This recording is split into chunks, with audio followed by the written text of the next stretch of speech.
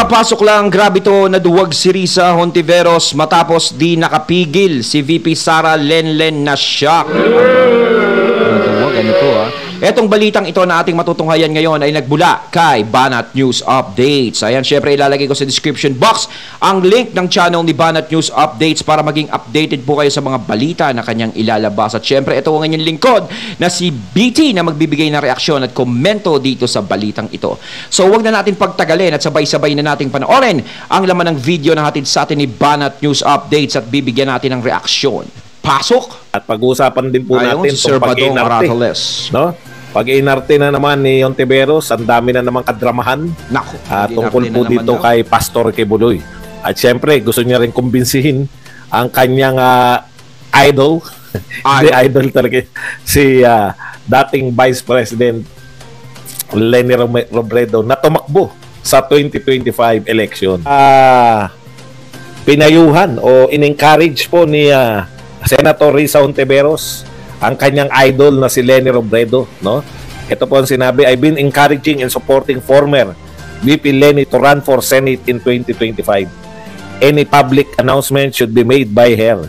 But for sure, she remains politically active through angat buhay. Hindi ako nag-iisa na mangungumbinsi at sumusuporta sa kanya na mananatiling active electorally and politically. Yan po ang uh, pinahayag. Ini-impluwensyahan ni Honti si Lenny. No? Para meron na siyang ka-join force. Hindi lang siya mag-isa dyan sa Senado na manggigisa lang manggigisa. Oh, hindi lang ako mag-isa dito ang babanat sa Duterte. Kailangan may kasama ako, kumbaga, tag team. Kumbaga sa WWE, meron tayong tag team. Baka sakali maging champion tayo. Alam po ninyo, eto, sa tingin ko, ito na po ang katapusan ni Lenny Robredo once na tumakbo siya sa Senate sa 2025. Bakit po? Hmm. Manalo, mana, matalo. Una, wala siya sa Magic 12. Malayo sila lahat eh. Wala pong dilawan na nakapasok. Kaya siguro pumapalag tong Bishop eh. No? Dahil walang dilawanan pasok sa top 12 eh. Oo. Is either ano po yan, is either yung mga ah, tauhan po ni Pangulong Duterte or ah, yung dalawang tulpo. Simula kasi nang namulat ang isip ng taong bayan, no, nung eleksyon na yon, is kaya hindi na nakapasok ang mga dilawan kasi dilat na eh. Yung mga tao marami nang alam sa mga nangyayari sa bansa natin. At kung sino ba talaga ang mga tao na karapat dapat maupo doon sa mga posisyon no na ipinaglalaban nila kapag eleksyon. 'Di ba? Malaki din ang tulong talaga ng SOCMED, ng social media, para magkaroon ng kaalaman ng mga tao tungkol dito. 'Di ba? Hindi katulad dati na sa television lang naka ano, hindi ko naman inaano yung television no. Pero doon lang talaga nakatutok. Sinasabi nga no iba, "Oh, ibang balita kasi bias ganto ganyan. Pero ngayon is makakapanood sila sa television, makakapanood sila sa social media, kumbaga magiging malawak na eh, yung kaisipan nila. Malawak na yung makikita, yung kaalaman na malalaman nila. Kasi minsan, alam natin ito, ang katulad sa Marcos, hindi binabalita sa TV gaano. Dati, di ba? Kaya ang tingin ng mga tao sa mga Marcos is sobrang sama. No? Ang balita sa TV is masama ang Marcos ganto. Pero sa social media, maraming nakaalam tungkol sa ginawa ni Apo Lakay dito sa Pilipinas. Doon lahat nagputukan. Kaya lalong yung mga loyalists is talagang namayagbag noong mga panahon na yon. Oh, yung mga Duterte ngayon dito sa sitwasyon na to is nababalita din sila, no? Ganun yun eh, nagiging balanse na, nagkakaroon na ng kaalaman ng mga tao. Kaya hindi masyadong nakapasok yung mga ibang yellow dahil syempre yung taktika nila is wala na eh. Kumbaga gas-gas na, wala na. Luma na. or yung mga ah, walang walang ano, walang sino, kumbaga mga bat, batikang senador na, mga balik senado, no? Yan po yung mga pasok sa top 12 eh. Tauhan ni Pangulong Duterte at saka yung mga dalawang tulpo, si Ben. Tataka ko rito kay Ben, biglang tumulpot eh. Si Ibig sabihin, pag nanalo si Ben Tulpo, no, si Erwin Tulpo, Rapi Tulpo, tatlo na silang Tulpo doon. Baka, mag, baka magkaroon ng programa doon sa Senado. Tatlo-tatlo na yun magmumura doon sa mga ano. Ben Tolfu at saka nagustuhan nyo talaga yung pagiging senador ni ni Rafi Tolfu. Kaya talagang malupit ang magiging bantayan pagdating ng 2028 eh. No? Rafi Tolpo tsaka versus Sara Duterte talaga yan. Mm.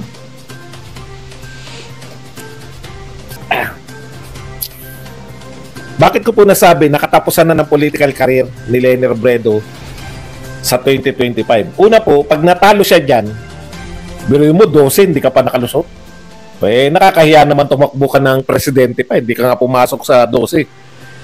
Thank you very much kay uh, Sis- wala na yun. Kapag natalo siya dyan sa Senado, ibig sabihin nun, wala ka nang, wag ka na mag-ambisyon tumakbo ng presidente kung sa Senado matatalo ka. 'Di ba? Kung nakikita mo naman kasi yung sarili mo eh. Sa Senado pa lang is lagpa ka na. Huwag ka na mag-ambisyon talaga na tumakbo bilang presidente. Spia TV na nagbigay sa atin ng 3 Singapore dollars. Kasi eh, kaya naman nanalo si ano nun eh, si Lens. Kasi nga 'di ba yung asawa niya nga naging popular no nung panahon ni Nino, Noy Noy, 'di ba? Naging popular si Robredo nga, si Jesse Robredo. No, tapos bigla siyang tumakbong ano, Vice. Oh, kaya parang ano eh, nahatak siya nung pangalan ng ano niya, ng asawa niya. Siyempre, ng mga panahon na yon, eh, siyempre, alam natin na mabango pa ang yellow, ganun. Marami pa naniniwala. Wala pa tayong alam sa iba. Eh, ngayon, ewan natin. 'di ba? Kumbaga yung powers, hindi natin alam kung yung powers nila dati is uubra pa rin ngayon. Pero ito na nga oh, kita nyo, nung eleksyon ng 2022, halos walang nakapasok na yellow. Talagang si Honti lang talaga yung pinalad. Yan, napangkape. Okay. Pero paano ba dong, halimbawa, natsambahan na natsambahan ni Lenny, Nakapasok. pumasok siya. Mm. Eh matatapos na rin po ang political career niya. Kasi may expose po siya eh. Di po ba? Anong gagawin niya sa Senado? Hindi naman pwede yung mga ganun-ganun ka dun. Hindi pwede yung mga finger-finger ka dun. Totoong trabaho yun. Ha? May expose po yung mga walang yung wala pong laman yung uh, sa pagitan alam, ng dalawang tenga. Ito lapid na maging membro ng uh, o maging chairman ng Committee de Silencio. Pwede siyang makasurvive for 6 years. Pero yung hindi ubra kasi. Hindi ubra kalutangan doon. oh, hirap makipagsabayan sa Senado eh. Alam naman natin na matatalino yung mga tao diyan. No, pagpalagay natin, yung may mga artista diyan na sumali na sinasabi na wala namang alam dati yung mga yan eh. Sila nagporsiging matuto diyan. Di ba? Si Pacquiao nga eh. Oh, dati ganyan-ganyan. Oh, ngayon nakikipagsabayan na. Minsan kahit balubaloktot yung sinasabi. Oh, talaga nakikipagsabayan siya. Oh, ganun yung mangyayari diyan. Hindi pa pwedeng tatahi-tahimik ka lang diyan. Hindi pa pwedeng nakaupo ka lang. Parang ganun lang. Yung parang display. Kaya ma- malalantad po, masisira po. Alam niyo, merong popular na mga leader na naging senador na wala po sa nawala po eh sa eksena. Isa pong sikat na sikat noon dahil anak ni FPJ. 'Di ba? Si Grace po. Oh, si Grace po. Nung bagong-bagong halal yan, kala mo superstar eh. O asa na ngayon si Grace po? 'Di ba? Parang Kasi si Grace po ano eh, parang nadala rin sa pangalan ni ano si Senator Grace po, nadala rin sa pangalan ng ating The King FPJ. Kaya nanalo din siya noon eh. 'Di ba? Syempre po. Oh, syempre anak ni Fernando po to. Inisip na yun ng mga tao, oh, baka mamaya kaano ni kaugali ni Fernando po, 'di ba? Alam naman natin si FPJ talaga is matulungin sa mga tao. No? Alam madami siyang tinulungan eh.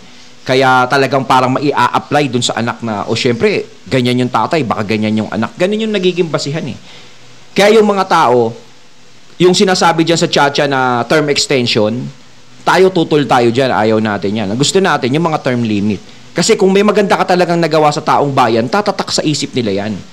O, di ba? Kaya nga nanalo si Grace po dahil kay FPJ sa pangalan ni FPJ. Di ba? Kaya nanalo si Robredo dahil sa pangalan ni Jesse Robredo. Di ba? Kumbaga, kapag may magandang nagagawa talaga yung naglilingkod sa bansa natin, halimbawa, presidente, kahit hindi na siya makatakbo sa susunod, kahit walang extension, yung anak niya, pag tumakbo, pagkakatiwalaan ng mga tao yun. Kasi nga, ganyan yung tatay niya o ganyan yung nanay niya eh. Ang ganda magpatakbo sa bansa natin eh. Yung anak pa kaya. Ganun ang nangyayari. Eh, ang nangyari kasi, o yung anak ganto ganyan. O eh, kaso, di ba, yun nga, eh, sinasabi ni Norman, si Grace po, si Lenny. Diba? Pero eto, baka Pero eto, di ba? Si kay FPRRD, malay natin si VP Sara is mas matindi o mas magaling kay FPRRD kung sakaling maging presidente si VP Sara. Pero hindi pa natin alam kung talagang tatakbo si VP Sara kung papayagan siya ni FPRRD tumakbo. O kung ano magiging desisyon niya. Wala tayong alam dyan. ba? Pero kung tatakbo siyang presidente, eh, talagang siya ang pinakamahigpit na magiging kalaban. Wala na. O yung mga binay, hindi natin makita. Ay, biro lang, Ma'am Nancy. Biro lang po, Senator Nancy. makita. Talagang ma-expose ka kasi hindi naman po yan, hindi ka makakapagtago sa mga picture-picture diyan. Walang Oo. walang mga bahakan lulusong. ka talaga dyan. no? O hindi ka makakaangkas sa mga sa mga ha- habal-habal. O kaya matalo manalo si Lenny. Yan nakatapusan ng kanyang karir. Kaya pinag-iisipan ni Lenny. Baka may isa pa siyang ah, baka kasi pag nagtempi siya, hindi siya tumakbo sa 2025. Pwede pa siyang tumakbo sa 2028. Eh ang target lang naman niya maging second place. Konting sira. Kasi kahit tumakbo si Lenny sa ano, sa 2028, kung tatakbo si VP Sara talaga, is malabo eh. Malabo pa rin ha, sa akin lang ha. Kasi kay PBBM, talaga layo ng lamang ni PBBM sa kanya eh. Pero si VP Sara nakita natin is ang taas din. No, 32 million, mas mataas pa nga kay PBBM yung nakuha ang boto ni VP Sara eh. Si Lenny nga nun, 'di ba, mababa, malayo ang lamang ni PBBM sa kanya. Eh lalo pa kaya kay VP Sara kasi alam naman natin, nakita natin na si VP Sara mas lamang pa ng konti kay PBBM. Kaso siyempre Vice President si VP Sara tapos Presidente si PBBM pero nakita natin doon yung kalamangan ni VP Sara. Eh lalo na kung si Lenny sasalubungin niya, lalabanan niya si Inday Sara sa ganun. Nako. Ako na lang kasi tahimik na lang sa bahay. Wala, pang problema, wag na kayo lumaban. No? Ba maaari baka yan si Tulpo lalaban pero tingin ko kung si Rapi Tulpo lalaban parang malayo magiging lamang din eh. Kasi sino pa ba ang pwe- pwedeng lumaban kay BP Sara? Kayo mga katunay. Kung sakaling ito nga, 'di ba nagsabi si Senator Rapi na hindi naman siya tatakbo kaya wag na siya isama sa survey. Sa tingin nyo, kung merong lalaban kay BP Sara, sino ang karapat dapat na lumaban sa kanya? No, katuwaan lang mga katunay, i-comment nyo lang sa comment box. Sa 2028, sino ang maaaring, ah, kahit hindi na tumapat sa kanya, yung maaaring makaano lang sa kanya, kumbaga, ah, makahabol-habol. Di ba? O kaya karapat dapat na maging presidente din, sa tingin nyo, sino? Lang kay Tolfo yan. Pwede na niya maabot yung kanyang hangarin na maging second place. Punta na po tayo rito kaya no, kaya sa pagdadrama ni Ontiveros. Alam nyo, eto po no, si Pastor Kibuloy po, ah meron ng kaso, di ba? May kaso na, nasa korte na, Mm. yung kaso niya, pinaghanap na siya ng ah, batas. Okay. Takantaka ko rito sa mga tao, bakit hindi hindi sumusuko si Pastor Kibuloy? Di hantingin na siya. kaya siya tinatago daw ni Duterte kaya hindi mahuli-huli. Hindi hindi ko kung hindi nyo mahuli yung ah, gusto nyong hulihin, wag niyo po isisi kay Duterte pa rin. Lahat na lang Ano ba naman yung paghuli kay Kibuloy, sinisi pa kay Duterte kasi hindi mahuli. Alam nyo kasi, no, dapat siya, no, sa, sa pinu- hindi na dapat pinoproblema ni Honti yan eh. Kasi nasa korte na nga naman yung kaso ni Kibuloy. Yung korte na mamumroblema dyan at siguro hindi naman itatago ni APRRD yan. No? O sakasakaling itago, eh mahuhulit, mahuhuli din naman yan. Pero sinasabi nga ng mga tao, kung talagang not guilty si pastor, is dapat harapin niya. Harapin niya naman siguro yan. Pero syempre, umiiwas nga siya doon sa mga tao na maaaring kumuha sa kanya. Mamaya, imbis na sa korte siya mapunta kung saan siya dalhin. Yun nga, yun, yun yung pumapasok sa isip niya, kaya medyo nakokontrabando yung ano niya, desisyon niya eh. Oh, kaya dumadagdag pa kasi sa stress niya yung ano nyo, yung pagsingit-singit nyo. Pabayaan nyo na lang kasi sa korte. Bayaan nyo na yung korte magdesisyon sa kanya. Ano ba kinatatakot nyo? Natatakot kayo? Baka mamaya si, mapawalang sala si pastor. Ganon. Tapos pag, na- pag napawalang sala, biglang mag-rest back sa inyo. sinisisi nyo kay Duterte. Oh, tapos eto si Ontiveros, yun po yung ka- kalagayan, di ba? Dapat tahimik na yung Senado diyan kasi Oh, dapat wala na. Tapos Nasa na eh. korte na eh. Mm-hmm. tapos na yung papel nila eh. Di ba? Nasa korte na yan, lilitisin na si Yes, Apollo Kibuloy ng korte dito sa Pilipinas. yan. oo. May warrant of arrest na yung korte. Pero humihirit pa to si ano, si nagdadrama pa to si Ontiveros. Ontiveros dares Kibuloy to come out face Senate, hindi ka namin uurungan. Kala mo talaga. Kala mo talaga action star eh. Alam mo, Senator Ontiveros, panay action star dyan sa kasama mo sa Senado. Huwag ka naman Kung simula pa dati, is pinaubaya nyo na sa korte yan, walang problema eh. Ano po bang kailangan nyo kay Pastor Kibuloy dyan sa Senado? No, hindi ko pinagtatanggol yung tao. No? Kasi meron tayong korte dito na dapat yung gamitin. Kaya nga tayo may ustisya dito sa Pilipinas eh. Hindi naman dyan maitpapatupad sa Senado yung ustisya. Kung sakaling guilty ba, mapatunayan siya dyan. Ano yung magagawa nyo? Wala. Hindi nyo rin naman siya pwedeng hatulan dahil nasa Senado yan mapapatunayan nyo lang ganto, ganto, ganyan. O napaamin namin yan, ganto. Tapos ibibigay nyo rin sa korte, hindi pinahirapan nyo pa. Ba? May korte na kasi. Tapos na yung usapan na yan eh. Yung korte na ang bahalang magdesisyon nga sa kanya kung ano ang dapat mangyari sa kanya. Kung siya ba ay magiging guilty o hindi. Ngayon, para matulung, matulungan niyo yung mga testigo na tumitestigo kay Kibuloy, no, na nag-aakusa sa kay Kibuloy, is pwede yung tulungan dyan sa korte. Bigyan nyo ng magaling na abogado, di ba? O suportahan nyo. Pero hindi na dapat yan pag-usapan pa sa Senado. Kasi kung pag-uusapan nyo sa Senado, ganyan lang, is wala, nonsense yan. Ang dapat pag-usapan sa Senado is ang problema ng bayan, hindi problema ni Kibuloy. Dahil uulitin ko, makulong man at makulong man o hindi, si Pastor Kibuloy, walang mangyayari sa Pilipinas, ganito pa rin. Mahal pa rin ang bigas, mahal pa rin ang mga bilihin, ganito pa rin. Dapat ang inaasikaso nyo is ang problema ng bansa natin ngayon. Kung ano ang nararamdaman ng mga Pilipino ngayon sa nangyayari ngayon, dapat maramdaman nyo rin. Yun ang pag-usapan nyo. Hindi si Kibuloy. Labas na sa usapan ng problema ng bansa yan eh. Walang pakialam ang mga tao sa kaso ni Pastor Kibuloy, makulong man yan o hindi. Ganun yan eh. Wala ding maitutulong sa bansa yan. Maaaring may pakialam sa kanya yung mga taong kadikit niya, yung mga taong nasasakupan niya. Yun matutuwa. Pero sa ibang tao, sa buong Pilipinas, matutuwa ba kung mapa- mapakulong niyo si Kibuloy? Matutuwa ba pag napawalang sala si Kibuloy?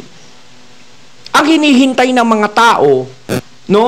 Ang hinihintay nilang pag-usapan nyo is ang problema ng bansa natin kung paano nyo malulutas. Ayun ang dapat yung pag-usapan. mag-inarte na para kayang hindi ka namin uurungan. Hindi. No? Action star ka rin. Dami ng action star dyan. Lito Lapid. ah, Robin Padilla. O baka nakakalimutan nyo, may isa pang action star. Baka magkaroon ng teleserye dyan. Baka susunod, si Coco Martin. Si Coco, no? Tumakbo na rin senador. Na, Hindi hindi lang kasi ay hindi pa si Ramon Revilla pa pala, action Hmm. star din 'yan. Siyempre ang pinakamalupit sa kanilang lahat. Ang pinakamatinding action star sa lahat. Jinggoy Estrada. Puro action star eh, no? Walang komedyante eh.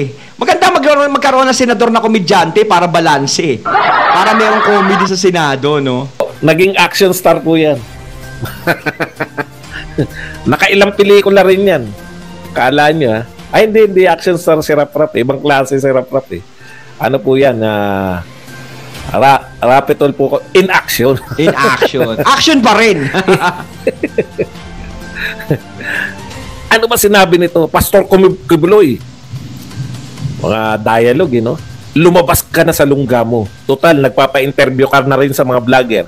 Aba, magpa-interview ka na rin sa amin sa Senado. Uh, tala, nainggit ka pa sa mga vlogger, ha?